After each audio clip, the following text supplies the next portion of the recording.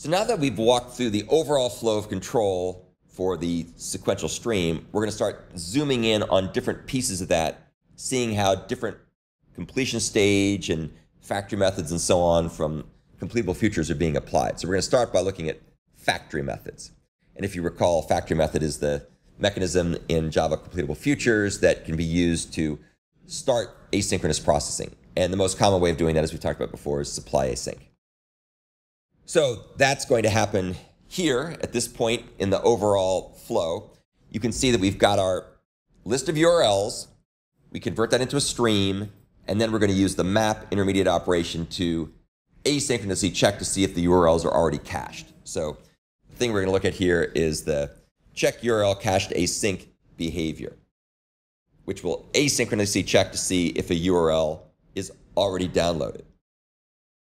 It returns a stream of completable futures to optional URLs, which will have a value present if the URL is not cached, and it will be empty if the URL is already cached. And the reasoning behind that is if we've already gone to the trouble of doing this before, we just want to ignore that URL. But if we haven't downloaded and filtered this URL before, then we want it to be present in the optional. And we'll talk a bit more about optionals. The later behaviors here that come after this are always going to ignore empty optional values, which could be optional URLs or optional images or whatever. So they'll be ignoring the values. That's what we do with empty optionals. We just ignore them. So let's take a look at the check URL cached async behavior, which is just a good old Java method. Nothing too surprising about that. And here's what we do. We call supply async, which is the very common way of getting things going in an asynchronous model with completable futures. And we're going to do some fancy footwork with this optional factory method. So there's several factory methods going on here. There's supply async, which is a factory method for completable future. And there's of nullable, which is a factory method for optional.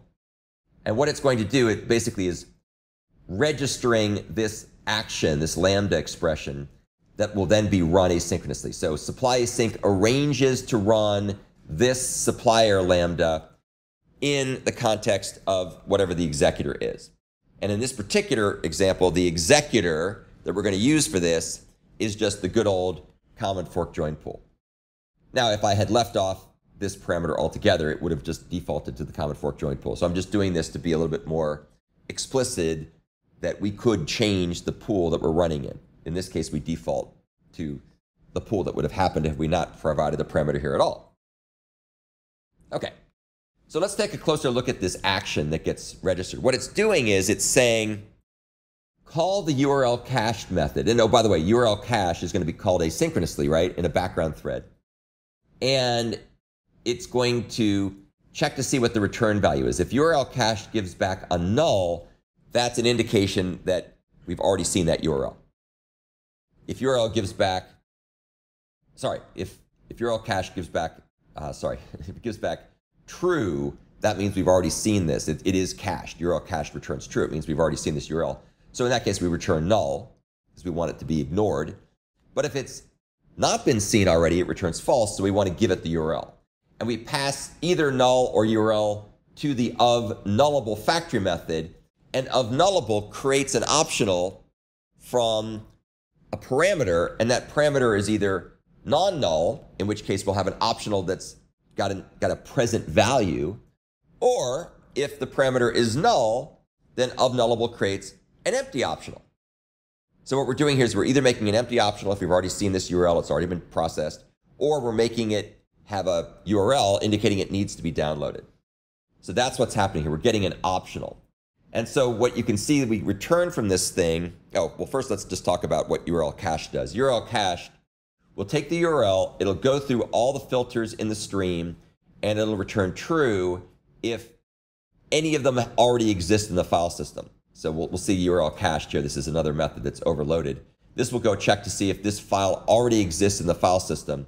And if any of the files are in the file system, that's what any match does, then it's going to go ahead and return true. That means it's got a match. And here's what URL cache does. It tries to create a new file. And if it is, if the file already exists, then it knows that it's already been downloaded and cached with that name. And that's an atomic operation, so you don't have to worry about race conditions. If it's able to create the file, that means it has not been seen before. So it's fair game to be downloaded again. Now, there are other ways to do caching. This is a very simple minded way of doing it. The right way to do this would be to use like the max age tag in an HTTP request. So you keep an image for a certain amount of time before it ages out. So that makes the cache a little bit more refreshable automatically and so on. But we're just making a simple thing here. Okay, so what we return from this, I should probably have one more little thing here. We return a completable future, because that's what supply async always does, right? Supply async returns a completable future. And it returns a completable future to an optional URL. So you can see if you look at the parameter, check URL cached async, asynchronously returns a completable future. Well, it does the processing asynchronously. It returns a completable future to an optional URL such that once the check completes, then that optional URL will either have an element of value present if it was not cached, or it'll be empty if it was already cached. So that's what we're doing here in order to be able to start everything in motion using the supply async factor method. And I think you'll agree with me that this is very subtle code and somewhat complicated code. And so we'll talk a bit about why we need to do this in a second.